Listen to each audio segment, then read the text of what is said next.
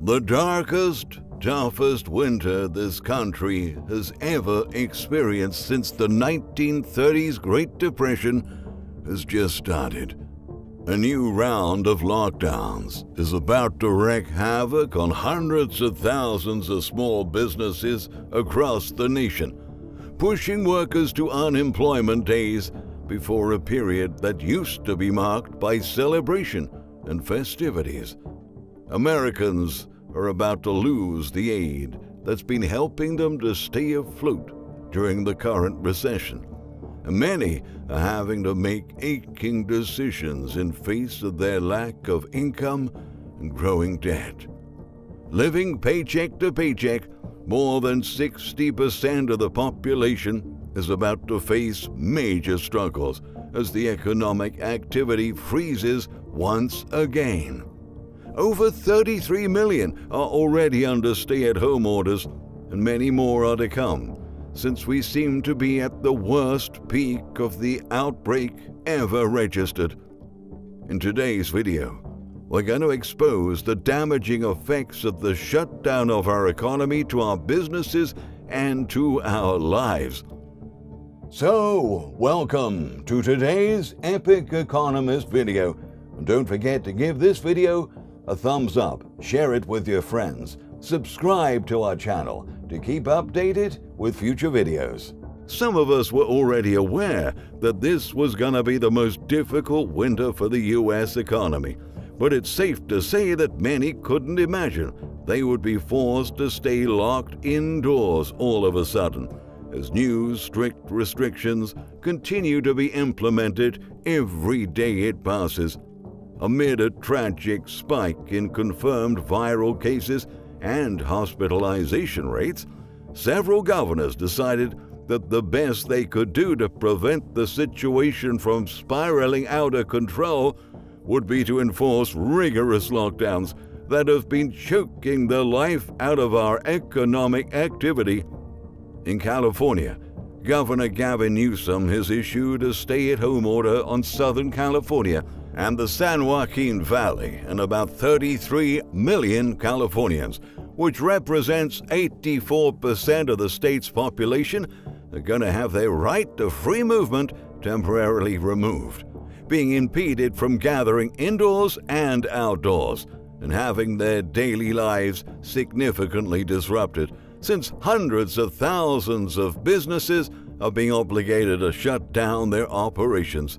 Additionally, in the coming days, five Bay Area counties will also be under lockdown restrictions, despite the rate of cases hasn't yet reached the limiting level at which such action is mandated by the state. The Orange County Supervisor, Lisa Bartlett, has described how some business sectors are being unfairly punished by the new regulations.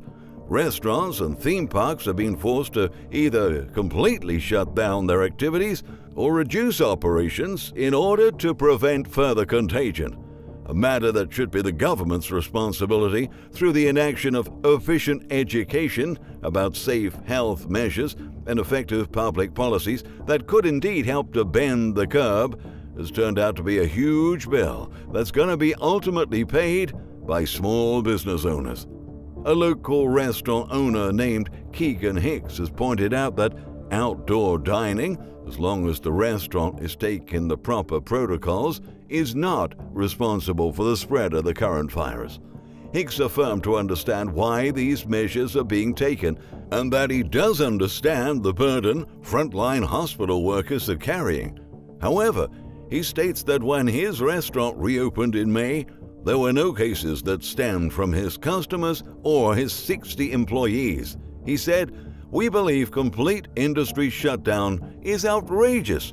We will comply, but we hope that our local legislator and at the state level will work on a variance for outdoor dining, as long as outdoor dining is being done responsibly by customers and restaurants, he added.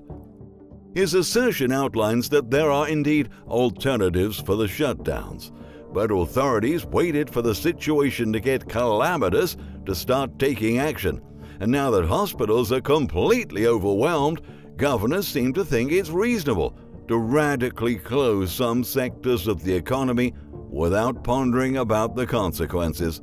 Last Monday, after Los Angeles County suspended outdoor dining, a lot of backlash was seen on social media. A video of a restaurant owner explaining the devastation the rules were causing on her eatery, while a nearby movie shoot continued open and caterers were serving food to people under outdoor tents. That's caused a lot of commotion. I am losing everything, she said. Everything I own is being taken away from me. A new SF Gate report featured several statements of small business owners that have operated in California for generations and are now finding themselves on the verge of extinction. Rory Cox, the founder of the newly formed San Francisco Small Business Alliance, said to be talking with numerous small business owners around the city, and every story is sadder than the next.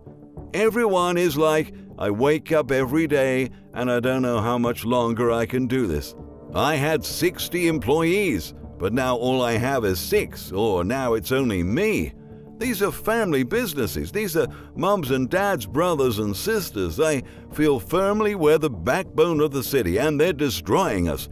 They're ripping us apart. They're tearing up the heart and soul of the city, he told the newspaper. Several Bay Area small businesses that survived the first round of lockdowns but were left hanging by a thread are currently facing their inevitable downfall. During the first time, Outdoor dining was still allowed if owners and customers followed safety protocols, but this time around, there is no compromise. The new regulation expressly says that apart from takeout orders, all outdoor dining operations have to be shut down. There does seem to be some evidence that indoor dining may pose a risk to some people, noted Tony Granieri, owner of two Oakland restaurants.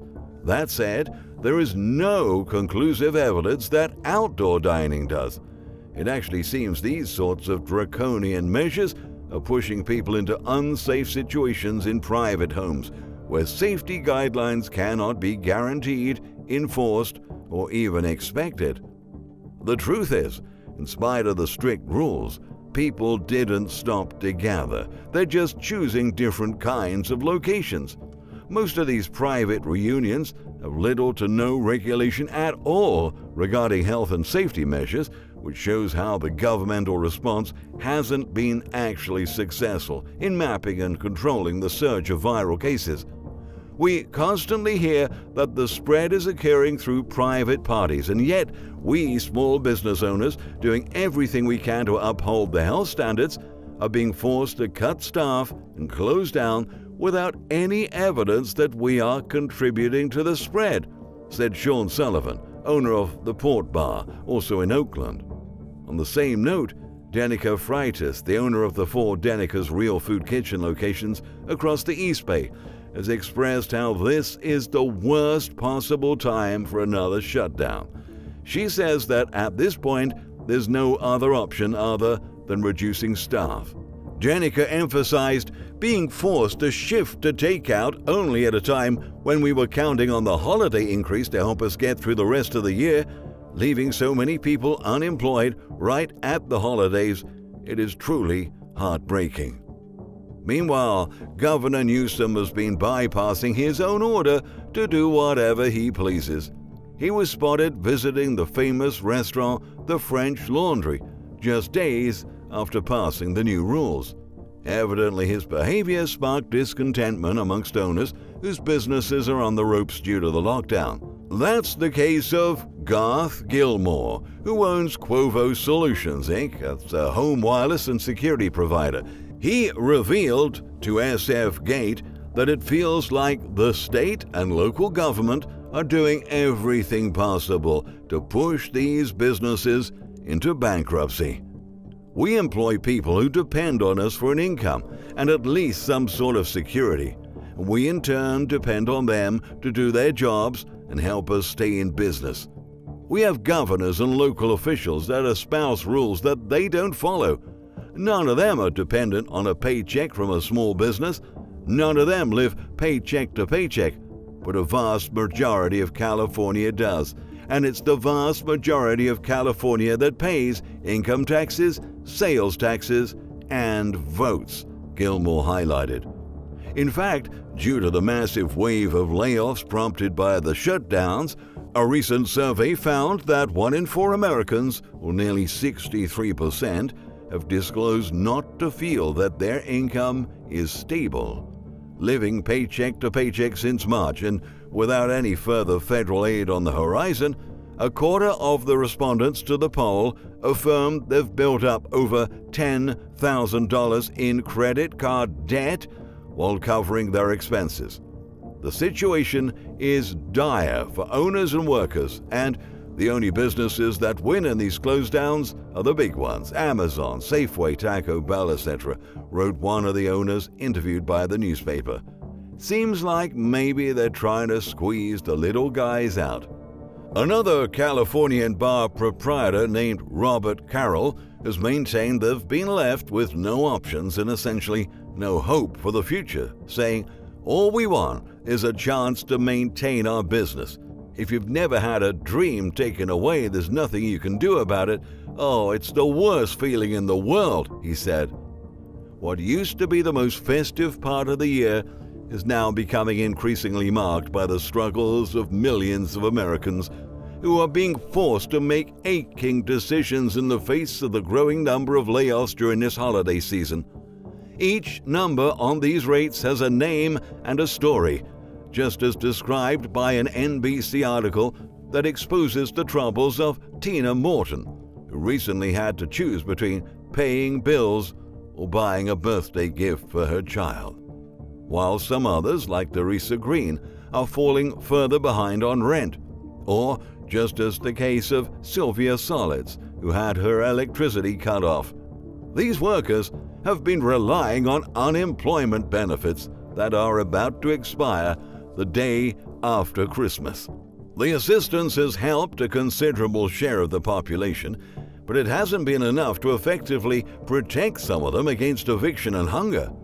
For instance, Solitz has informed that she already received an eviction notice, even though she's one of the few that's still collecting the benefits. With four children, the money doesn't go very far. The day I get it, it's already gone because my kids need so many things, she explained. Of course, I have to pay a portion to whatever bill I have, so that way I can stretch it out. But every time another check comes in, it's another bill. Just like her, numerous workers were counting on external help to find means to survive. Authorities have stripped away any real prospects for an economic recovery with the enforcement of new lockdowns and Congress doesn't seem to bother in enacting another stimulus relief to ease the pain of those most affected by the economic downturn. They're basically gambling with us, said Solitz. At this stage of the crisis, 40 million are on the brink of eviction, and 54 million are dealing with hunger. The senior fellow at the Century Foundation, Andrew Stettner, said that the coming homelessness crisis is a factor of major concern that should have been addressed with a lot more care. It's a terrible, unforced policy error to make. It'll slow the recovery that we're having by cutting off these benefits so early, he pointed out, referring to the end of federal programs. As economy writer and analyst Michael Snyder stated in his latest article, even in the most wildly optimistic scenario imaginable, it is hard to imagine how we could possibly avoid such a painful winter. What we're heading into is not just another temporary economic setback. Sadly, the truth is that our entire system started the process of completely melting down. Now, millions upon millions are now left to struggle with the effects of a crisis that was perfectly avoidable and unfortunately, there will be a lot more pain for our great workers and our once great nation over the next chapters of this devastating economic collapse.